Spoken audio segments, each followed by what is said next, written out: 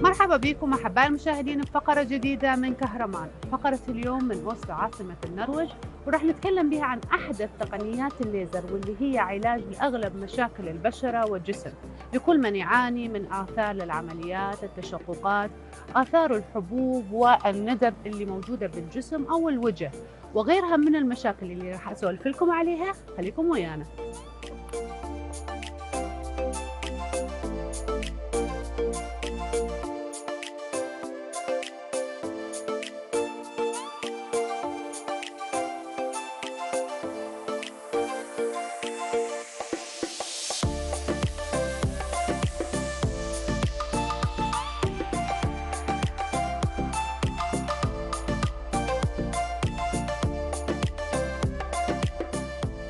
مرحبا ميادة.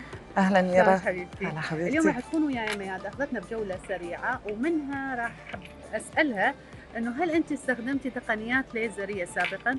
آه، استخدم استخدمت آه، جهاز الكانديلا. حسيت إنه كلش مفيد. جهاز آه، الكانديلا هو للجسم أكثر. اي بس بصراحة ما استمريت عليه. فطبعا أي أي جهاز ما تستمرين عليه راح تحسين إنه أكو ما تحسين بالنتيجة. نفسها بالضبط. فبس هذا الجهاز اللي استخدمته ما استخدمت غير تعقيباً على جهاز. كلام ميادة من المهم جدا أي جلسة تستخدموها بعض الناس يصرفون مبالغ كثيرة. صح. فتجي تسوي أول جلسة ممكن تسوي ثاني جلسة بعدين يصير عندها بعض الظروف أو إنها تتماهل لأن ما حست بنتيجة جيدة جدا. نقول هذا الجهاز ما هو هذا اللي صار وياي. ولازم اعوقه وهذا الشيء كلش غلط. لازم الاستمرارية العلاجية حتى إحنا نحس بنتيجة حلوة.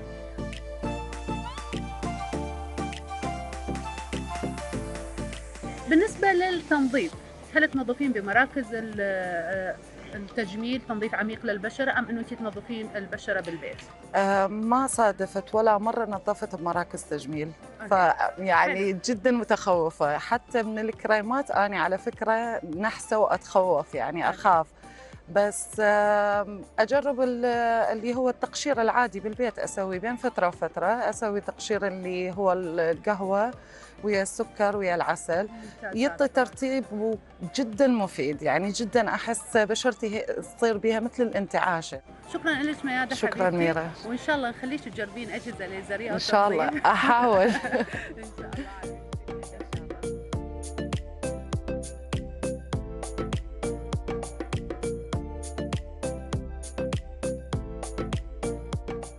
تقنية الفراكشنال سي أو 2 هي تقنية كلش مفيدة للبشرة.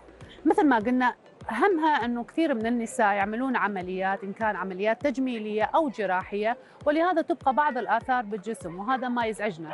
هذه تعمل على جلسات ممكن أربع إلى خمس جلسات حسب عمق ولون خلينا نقول العملية ولهذا راح يتم إزالتها. وأيضا بالنسبة للتشققات اللي بالجسم راح يعمل على إخفائها بشكل تدريجي. أما بالنسبة للندب والحفر اللي موجودة بالوجه فتعمل أيضا على آه، نضارة للبشرة بشكل جدا جدا ملحوظ حتى أكثر من الجسم. أما بالنسبة للتصبغات كثير من النساء يعانون من التصبغات آثار حروق الشمس وغيرها من مشاكل البشرة. فهذا التقنية هي مفيدة جدا حتى المسام الواسعة فممكن إنه إحنا نحس بنتيجة جدا سريعة ممكن جلستين إلى ثلاث جلسات.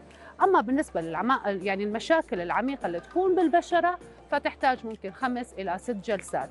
بالنسبة للتقنيات الأخرى أحيانا لما إحنا نسوي تقشير كيميائي أو أجهزة ليزرية فراح نحتاج إلى مدة علاج تتراوح تقريبا شهر أو ثلاث أسابيع راح تكون البشرة تقريبا متحرقه وتكون جدا تعبانة. أما تقنيه ال fractional CO2 فهي تحتاج خمس أيام إلى أسبوع وتحس إحنا البشرة تبدي تتقشر وتكون بشكل جدا نظر.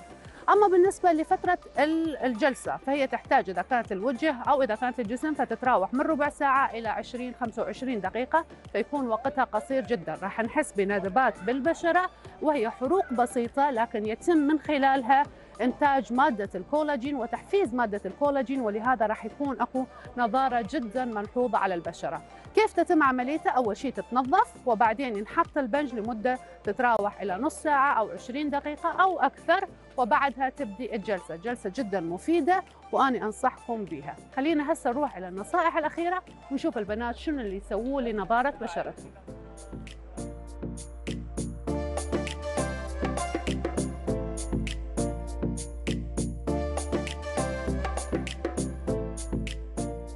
Hi dear, how are you? I'm good, thank you. I saw your your face very nice. Uh, so how you take care about your skin?